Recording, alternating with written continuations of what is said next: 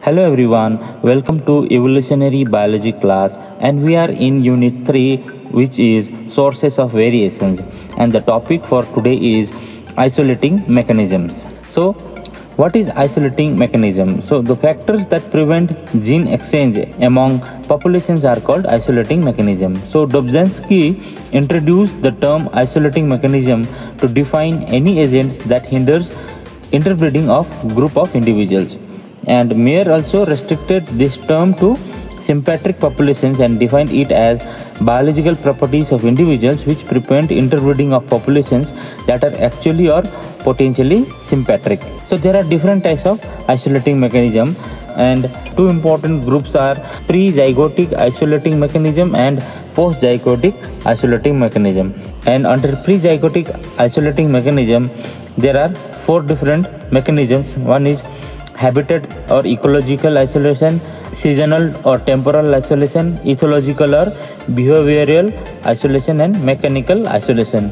And under post-zygotic isolating mechanisms, there are gametic mortality, zygote mortality, and hybrid inviability, hybrid sterility, and hybrid breakdown. So let's start with pre-zygotic isolating mechanism. Isolating mechanisms which operate before fertilization that is known as pre-zygotic before the formation of the zygote. So pre-zygotic isolating mechanisms leads to reproductive isolation by preventing the formation of a hybrid zygote. So the hybrid zygote itself is not formed here. So number one under pre-zygotic isolating mechanism is habitat or ecological isolation. Here species occupy different habitats. So potential mates do not meet each other because they flourish in different habitats. So example number one is two species of garter snakes in the genus Thamnophis occurs in the same geographical areas but one lives in water while the other is primarily terrestrial or it lives in land. So the two does not come together and therefore the mating does not happen and the zygote is not at all formed. Another is five species of flycatchers of north america. So there are five different species of flycatchers. They look almost all the same but because of their habitat they are not able to meet together and mate and produce offspring. So number one is least flycatcher or Empidonax minimus. It is seen in open woods farms and orchards. Whereas acadian flycatcher is or Empidonax virescens it is found in deciduous forest particularly in beech trees and swampy woods. And third is alder flycatcher which is Empidonax alnorum it is only seen around wet thickets of alder trees. And the fourth one is yellow-bellied flycatcher Empidonax flaviventris and it nests only in the conifer woods. And the fifth one is the willow flycatcher Empidonax trilli and it is seen in only bushy pastures and willow thickets. So these five different species have been formed due to the habitat isolation. And second is the seasonal or temporal isolation. So species breed at different times. So differences in breeding season prevent meeting of potential individuals of different species. Example wood frog and leopard frog. So wood frog Rana sylvatica, it usually mates in late March or early April when the water temperature is about 7.2 degrees centigrade or 45 degree Fahrenheit. Whereas the leopard frog, the Rana pipiens, it usually mates in mid-April when the water temperature is around 12.8 degrees centigrade or 55 degree Fahrenheit.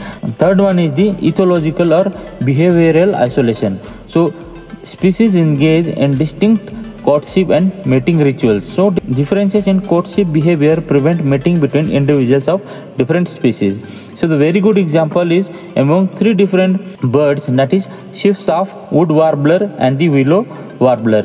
So chiffchaff wood warbler and willow warbler are three different species which looks almost exactly the same but they do not interbreed due to the difference in the mating songs and here we can see the three different birds which looks almost the same but because of their singing pattern they do not interbreed and the fourth one under pre-zygotic isolating mechanism is the mechanical isolation. So interbreeding is prevented by structural or molecular blockage of the formation of the zygote. So mechanisms include the inability of the sperm to bind to the eggs in animals or the female reproductive organ of a plant preventing the wrong pollinated from landing and body parts of species may not physically match with those of other species that could otherwise be mates or pollinators. So example is the black sage and the white sage plants. So these are two different plants. One is the black sage and the other is the white sage and they grow in the same areas but hybrids are rarely formed because flowers of these two species have become specialized for distinct pollinators. So black sage flowers are pollinated by small bees whereas white sage flowers are pollinated by large bees and hence the mechanical isolation. Now let us move to the post-zygotic isolating mechanism. So isolating mechanism which operate after fertilization. In pre-zygotic, the zygote was not at all formed. There was no fertilization, but here the isolating mechanism occurs after the fertilization. So post-zygotic isolating mechanisms are those in which hybrid zygotes fail develop abnormally or cannot self-reproduce and establish a viable populations in nature. So under post-zygotic isolating mechanism, first one is the gametic mortality. In this mechanism, interspecific cross destroys either sperm of the egg or sperm encounter antigenic reaction in genital tract of female and will be immobilized and killed before it has the chance to reach the egg. Example is the insemination reaction in Drosophila. Second is the zygotic mortality and hybrid inviability. So development of the zygote proceeds normally but the hybrid does not survive. Sometimes the zygote either doesn't develop or develop into an organism with very reduced viability. Hybrid sterility. Here the hybrid is formed, the young one is formed but it is sterile.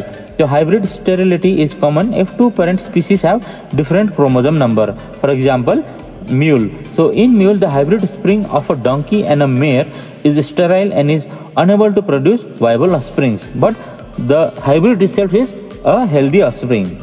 Another is the hybrid breakdown. Even though viable and fertile hybrids between two species are obtained, some barriers still exist in hybrids of second generations or from backcross of F1 hybrid to parental species are inviable. Example is the Drosophila pseudoobscura and Drosophila persimilis. Here the two species of Drosophila, Drosophila pseudoobscura and Drosophila persimilis, and uh, they can mate one another and in the F1 generation they can form either fertile offspring or a sterile offspring okay. And f1 generation is healthy. And in this way when more and more hybrids gets formed it becomes more and more weaker and weaker. And finally in many after many generations they become inviable. So isolating mechanism always have a genetic basis. So for a vast majority of animals it is still not known which particular mechanism prevent closely related species from interbreeding. Uh, and another thing to remember is the coaxin. And coaxin tells us that if one isolating mechanism fails, another must overcome and the isolating mechanism always occurs in nature. And with this we come to the end of this class. Thank you for listening and please like share and subscribe to the channel for getting notified for the for upcoming classes thank you